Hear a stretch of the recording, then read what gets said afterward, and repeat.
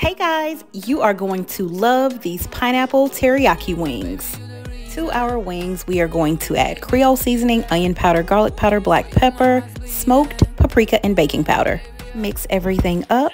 Next, get the ThermoPro thermometer and make sure that your oil is at least 350 degrees Fahrenheit and fry your wings for 7 to 10 minutes. Fully done chicken should have an internal temperature of 165 degrees Fahrenheit. Next, to a blender, we are going to add soy sauce, orange juice, brown sugar, rice vinegar, ginger, garlic, and crushed pineapples.